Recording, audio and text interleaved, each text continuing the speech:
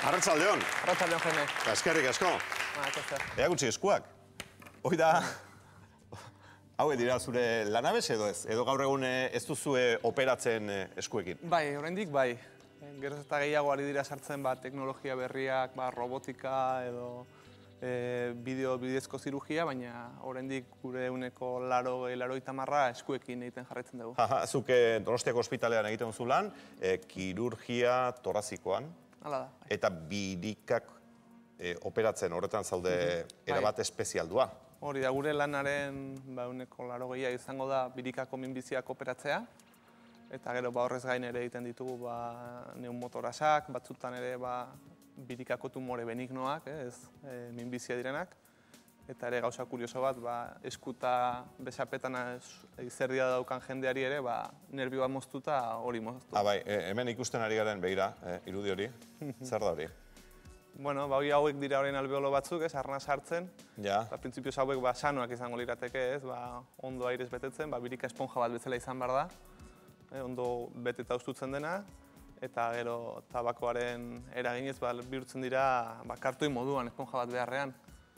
Eta hori, maten duna ba, ba arnaz estua, gero taukarra bartzen du arnaza, baina kasu txarrenetan, e, fase horretatik pase gabe, ba, minbizia sortu daiteke. Ez hau bai daukagula argi eta garbi efektu eta ondorioa, ez? Ba, beste minbizi batzuekin, ez dakigu argi zegatik saltzen den, baina birikako minbizien kasuan ez dago dudarik. E, tabakoa eta minbizien arteko relazioa demostratuta dago. zuzen zuzena da, ez? Bai, hala da gainera gero eta urte gehiago eraman erratzen eta gehiago erre, arrisku gehiago minbizia izateko. Gizonezkoen artean, mm, lehen da biziko minbizi kasua da, ez? Biriketako minbizia. Bueno, hemen batzutan estadistikak e, liatu daitezke. Zen ez da berdina, zenbat kasu dauden eta Ja. zenbat eriotza sortzen dituen. Gaur egun munduan da eriotz gehien sortzen dituen minbizia, birikakoa. Eta gizonetan, estatu batuetan da gehien hiltzen duna, eta emakumetan ere. Eta Europan gizonetan gehien hiltzen duna, eta emakumetan espero da hemendikan hiru lau urtetara ere izatea. E, bi, bularreko minbiziari irabazten ari geha zen.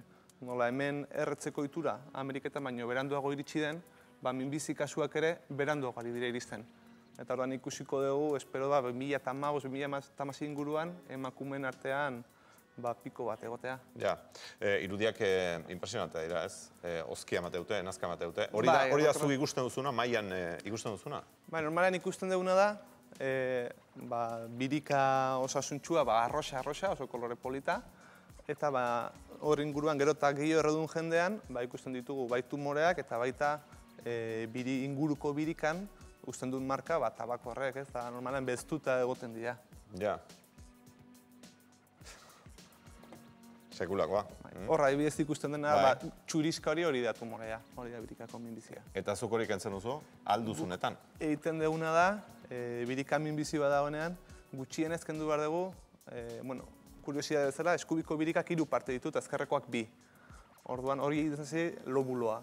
Gutxienez lobulo bat kendu behar da. Orduan eskubiko aldean denean aldegu eren bat kendu eta sendatu, ezkerreko aldean gutxienez erdia kendu behar da, baina batzutan birika guztiak kendu behar dugu. E, depende nun dagoen lokalizatua. Ja. Eta birikari gabe uzten bagaituzu, edo zati bakenduta uzten bagaituzu, ze ba, bizimodu askoz, e, Bai, limitatuagoa gaude bai, ez. mugatu gogoa da. izango litzateke ez? Bai, Operatorretik beti egin ditugu ba, proba batzuk ikusteko pertsona gai dela birika bakarrarekin bizitzeko. Zen guk azken finean eskintzen dugu alternatiba terapeutiko bat. Baina badago ere, ba, kimioterapia edo radioterapia emateko aukera hauek ere asko hobetu dira. Orduan, e, oberena, edo, superbientzia oberena eskintzen duna zirugia da. Baina gaixoak ezin dunean zirugia hori soportatu, egiten duguna da, edo kimioterapia edo radioterapia eman, e, bata, bestea, o elkartuta ere. Ze, hemen daukagun beste arazoetako bada, e, biriketako minbizia antzematen oso oso nekeza dela, gaur, gaurkoz. Hori da. Ze, e, bularreko minbizia adibidez, emakumeen e, kasuan eta asko aurreatu da, eta horren e, prebentzioa egin liteke, aldez aurretik antzeman liteke kasu askotan, baina hemen ez. Bai, hori da, birika, jendeak zen du, ba oso tradizionero dela, ez? E, argi daukagu, bularran miskrinia egita, eginda, e, bariotz tasa jitsi dugula. E, ondestekotan ere, ba, egiten da eskrinia, badakigu ze poblazio egin, edo inkluso prostata abiratzeko ere badakigu. Baina birikaren zat, oraindik ez dakigu zen den teknika proposena, zehatzeko detektatzen. Badakiguna da, zein den era horrena ez ateatzeko, eta da ez erretzea. Ez? Eta ba, pixka eta harritzekoa da, ez? E, hain argi dagoen gauza bat, hain beste eriotza sortzen dituena, eta hain alegin gutxi egitea, ba, ba hori ekiditeko, ez? Eta azkeneko ba arauak ba, gu oso alde gaude, ba, tabernetan eta erretzea debekatzea. Zen gertatu izan zegoia, ba, erre, operatu dugula jendea, eta inkluso e, dagoeneko hilda dagoena, ez du inoiz erre, baina tabernari lana. Hogei urte inguruko guztien keak irenzten, eta azkenean ba, berak ordaindu behar du gainontzeko egindakoa. Alegia, erretzaile pasiboen kontua hori ere e, ebakuntza mailan ikusi duzu. Bai, bai, bai, gainera ikusten da, e, emakume, ikusten da, emakumen artean, senarra erretzaile daukatenek, daukate launiko berrogeita mar probabilidade gehiago birikako minbizia izateko. Bere senarraren kulpagatik.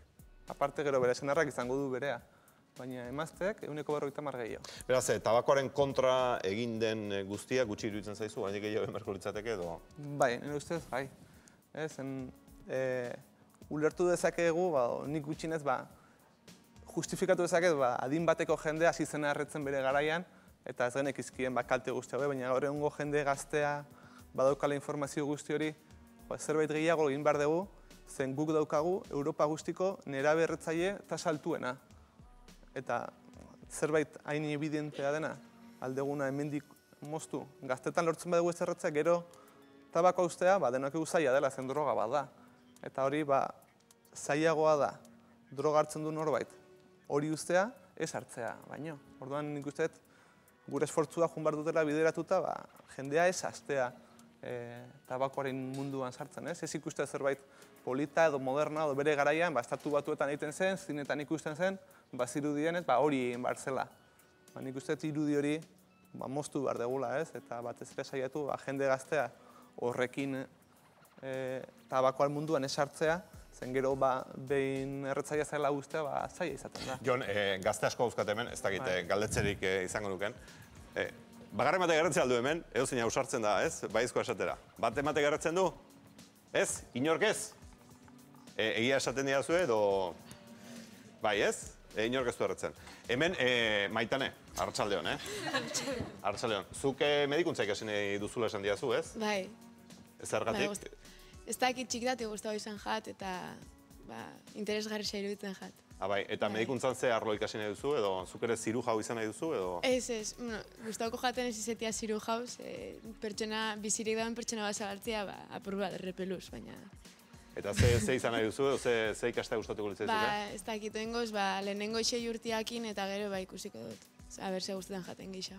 Lehen bizi medikuntza, baina gero, eh, bai, beste bai, berezitasunen bat ikasiko duzu. Bai, bai, bai. Arrasate arrazarete eskerrik asko, bai. dena itortzeatik, eta zerre, eh? Aizu Jon, eta zu zergatik zara ziru jau? Bueno, ba behin karrera bukatuta ez, ba, galdera hori tortzen zegu dene, izango dugu ikasteko, o dugu zertan espezializatuko gea ez.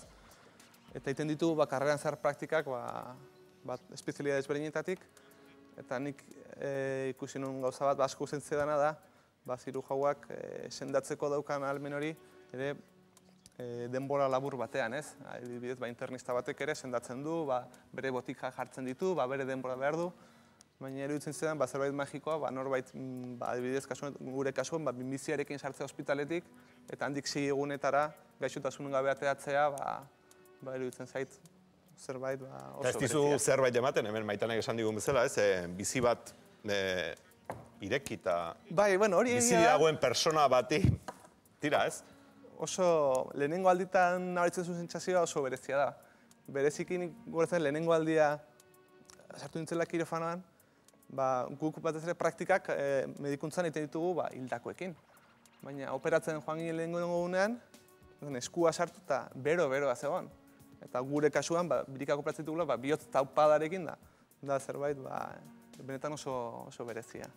Ikasi nun ikasi zen nun? Eh, Nik eh, Euskal Herriko Unibertsitatean bai? ikasi nun, bai? lehenengo zikloa bai? lehioan eta bigarrena donostian. Aha. Eta ero espezialidadea hemen egin dut donostiako ospitalean. Ja, e, minbiziaren kontu honetan, askotan esaten da, Ameriketan eta hobeto lan egite ote duten.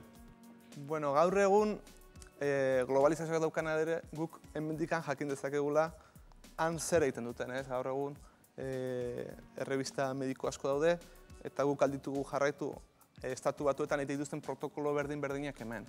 Orduan baia e, pixkat horrek ere bere zentzua galdu du. Zen gu gai gea gutxienez birikaren minbizian inguruan ba, e, tratamendu berdin eskaintzeko bai hemen eta bai Houston edo Nueva Yorken. Direla pixkat ba, birikako minbizian referentziak guk ere gaur egun bai kimioterapia, bai radioterapia eta bai zirurgia aldetik. Eta zirurgia aldetik gainera, zuek eh, Donostiako ospitalean egiten zuen lan, eta bigarren eh, urtez eh, segidan, hogei, Espainiako hogei onenen salian zaudete. Bai, eman digute aurten ere ba, sari bat, zein digutela ba, auditoria externa bat, Donos, eh, Espainiako hogei ospital importantetan hartu dituzte ba, zirurgia torrazikako zerbitzuak, eta biratu dituzte ba, zenbat gaixo hil diren, ze komplikazioak, zenbat ingresu, eta eman digute ba, ospital hoberenaren saria, ez? Zen, bain zuzen ere, e, lehen urtean ez genuen eriotz bat bere ere izan, eta komplikazioa bakarrik euneko bitan, eta Espainiako media dago euneko seieran.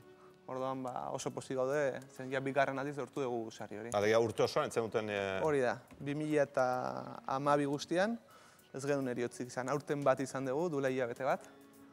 Eta beti izaten dute ez dezula inoiz aztu behar izaizun gaixoaren izena, eta hori deno daukagu buruan. Baina dena dela, azkeneko lau bost urtetan ba, oso emaitza honek ari geha izaten, da, eta hori ere ba, guretzat gratifikantea da, ba, gero kanpotik auditoria egiten du norbaitek, ezin ditugula guk datuak faltxeatu, ba, sari ematea oso pozik. Aizu bat zorionak, gaur operatu alduzu, bakarren bat. Bai, gaur izan. Bai, horre lagundu dit. irribarrez esaten. Wow! Bai, zen horrek lagundu dit gutxinez urduri ez jartzea. Nengon pixkat atzo gauen betxatzen jo bihar telebistara, baina goizean egon geha sortzitatik Ja, ja, arte operatzen da. Baina zer da telebista, ez? eh, Goizean, Baina gure eguneroko lana ba, gustorago sentitzen geha, ez badakigu nundik hau jun garen, nundik ez, da. Eta hemen ba, beti ba, ez ezaguna. Da, wow. Eta zenbat orduko operazio izan da? Ba, izan ditugu bi lehenengoa luzeago, egon lau bat ordu, eta gero ordu beteko txiki bat. Ja, lau ordu lehen bezikoaren bukatu, gero zer Bai. egiten duzu, zerbait hartu, eh, eta, Bueno, pixkatxo bat eseri, urtrago bat edan, eta eta, ale, bigarrena. hori da. Eta ondo joan dira bi, Hori esan oso ondo, oso posible. tira bat, zorionak, benetan. Eskerrik asko. Zabaleta, eskerrik asko.